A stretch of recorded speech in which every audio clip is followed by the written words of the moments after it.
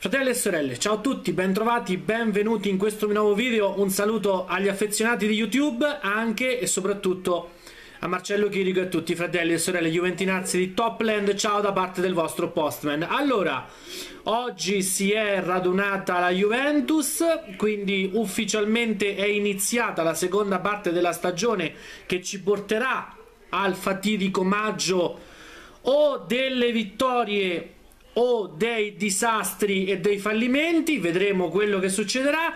Chiaramente il calcio si è fermato, io personalmente ho staccato la spina perché mi, dove mi dovevo preparare psicologicamente alla fase oramai finale della stagione, alla seconda parte della stagione perché tra campionato, Coppa Italia e Champions League avremo quattro mesi di fuoco. Si è fermato il calcio ma non si sono fermati i proclami, quelli che parlano talvolta e soprattutto il più delle volte molto spesso a sproposito. Io hanno parlato in tanti in questi giorni, io me ne sono tranquillo, sereno, ho ascoltato, ho ponderato, ho screenshottato, ho salvato perché poi quando sarà il momento certe robe le tireremo fuori e faremo il sunto di tutto quanto. Si è convenuto a taluni parlare o meno però io volevo in questo video portare alla vostra attenzione due in particolare due per tutti il primo è stato Amsic che per il settimo anno consecutivo ha pensato bene di fare il suo proclama tricolore. Ecco, da quelle parti sono molto attenti alla cabala e alle superstizioni, sono molto scaramantici, però evidentemente Mare Chiaro la lezione delle passate sei stagioni non l'ha imparata perché sappiamo tutti poi dopo i suoi proclami come è andata a finire no? a, a maggio maggio successivo.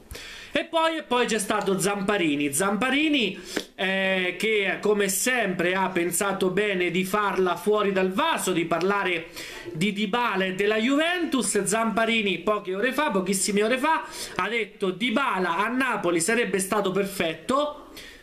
Tra parentesi non avrebbe vinto nulla a Napoli però sarebbe stato perfetto.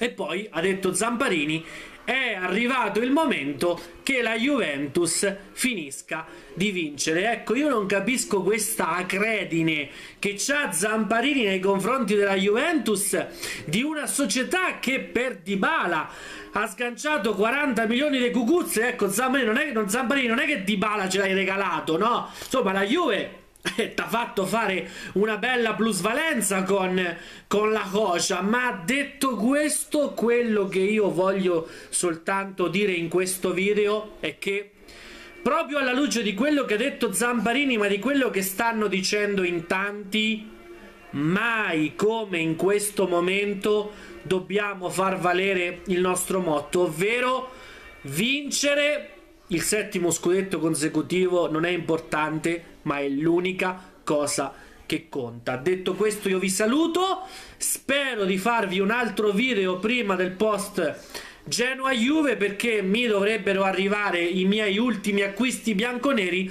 e li volevo condividere con voi. Per adesso vi saluto, ciao a tutti e come sempre fino alla fine. Vamos Juve, ripartiamo. Ciao Marcello.